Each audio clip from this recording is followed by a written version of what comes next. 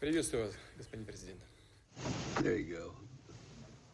Hello. Ջո Բայդենի եւ Վլադիմիր Պուտինի քիչ առաջ մեկնարկած բանակցություններին ընթരാճ ամերիկյան լրատվամիջոցները հայտնել են Ռուսաստանի դեմ հնարավոր նոր եւ առավել կոշտ պատժամիջոցների մասին, որոնք արևմուտքը կարող է կիրառել Մոսկվայի դեմ, եթե Ռուսաստանը որոշի ներխուժել Ուկրաինա։ Խոսքը մասնավորապես ֆինանսատնտեսական ցավոտ սահմանափակումների մասին է, որոնք կարող են հարվածել նաեւ շարքային ռուսաստանցիներին։ Հնարավոր տարբերակներից մեկն ըստ Bloomberg գործակցության կարող է լինել ռուբլու, դոլարի եւ այլ արտարժույթի արտարժույթի, այդ թվում եվրոյի եւ ֆունտ ստերլինգի փոխանակման սահմանափակումը։ Բացի այդ, արևմուտքը կարող է սահմանափակել ներդրողների երկրորդային շուկայում ռուսաստանյան պարտքային պարտավորությունները գնելու հնարավորությունը։ Առաջնային շուկան ռուսաստանցիների համար փակ է ավելի վաղ սահմանված պատժամիջոցներով։ Bloomberg-ը վկայակոչելով հարցին քաջատեղյակ իր աղբյուրները նշում է, որ պատժամիջոցները կարող են թիրախավորել ինչպես ռուսաստանյան որոշ խոշոր բանկերի, այնպես էլ Ռուսաստանի կառավարության կողմից ստեղծված ուղակի ներդրող ներդրումների ռուսական հիմնադրամին։ Սա հնարավոր պատժամիջոցների մի տարբերակն է, որի մասին ըստ լրատվամիջոցի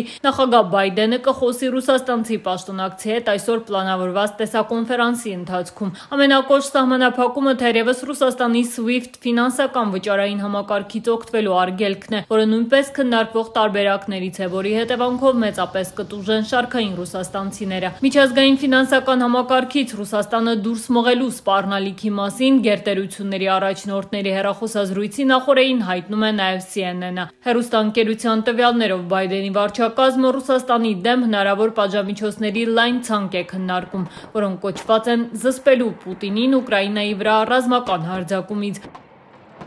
Ամերիկյան հերոստանգերության աղբյուրների համաձայն սահմանափակումները նախ եւ առաջ հարված են հասցնելու Պուտինի մերձավոր շրջապատին, էներգետիկ ընկերություններին եւ բանկերին։ CNN-ը շեշտում է, որ պատժամիջոցների հարցով վերջնական որոշում առայժմ չկա։ Սպիտակ տունը շարունակում է բանակցությունները եվրոպացի գործընկերների հետ, որոնցից շատերը սերտ տնտեսական կապեր ունեն Ռուսաստանի հետ։ Russia follow this path of confrontation and military action Եթե Ռուսաստանը գնա արճակատման եւ ռազմական գործողությունների ճանապարհով, մենք Մոսկվային հստակ հասկացնել ենք տվել, որ վճռական ենք արձագանքելու, այդ թվում մի շարք արդյունավետ տնտեսական քայլերով, որոնք նախկինում ձեռնպահ ենք մնացել կիրառել։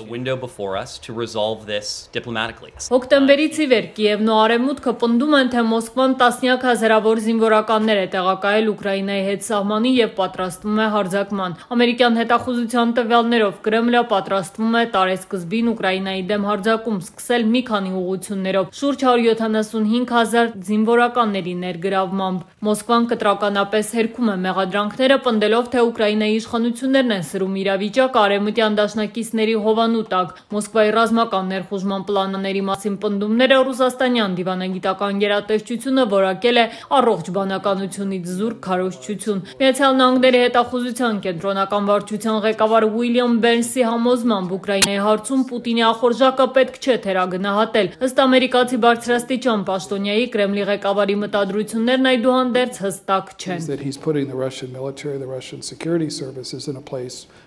Սակայն մենք գիտենք, որ նա ռուսաստանյան զինված ուժեր, ուժային կառույցներ է տեղակայել այնտեղ, որտեղից կարելի է լայնածավալ գործել։ Our view as a policy matter is obviously to Մոսկվայի գլխավորած տնտեսական դաշինքին Կիևի չանդամակցելու որոշումից հետո Ղրիմը բռնակցած Ռուսաստանն այժմ էլ երաշխիքներ է պահանջում ՆԱՏՕ-ի կազմում Կիևին չընդունելու հարցում։ Ընդ որում, ինչպես հայտարարել է Կրեմլի խոսնակ Դմիտրի Պեսկովը, Մոսկվան Վաշինգտոնից եւ Հյուսիսատլանտյան ռազմական դաշինքի կազմում իր դաշնակիցներից գրավոր հավաստիացում է պահանջում առայն, որ ՆԱՏՕ-ն դեպի արևմուտք չի ընդլայնվի խոսքը ինչպես նոր անդամների ընդունման, այնպես էլ արևմտյան զորքերի տեղակայման մասին է։ Պեսկովի խոսքերով հենց այս մասին է Պուտինը պլանավորում խոսել ամերիկացի պաշտոնակցի հետ Կրեմլում շարունակական եւ բովանդակային բանակցություններ են ակնկալում այդ հարցով։ Ռուսական կողմի պահանջներին ի պատասխան Սպիտակ տան ղեկավարն անցած օրերին հայտարարել է, թե Վաշինգտոնը մտադիր չէ գրավոր երաշխիքներ տալ ՆԱՏՕ-ին Ուկրաինայի անդամակցությունը մերժելու վերաբերյալ։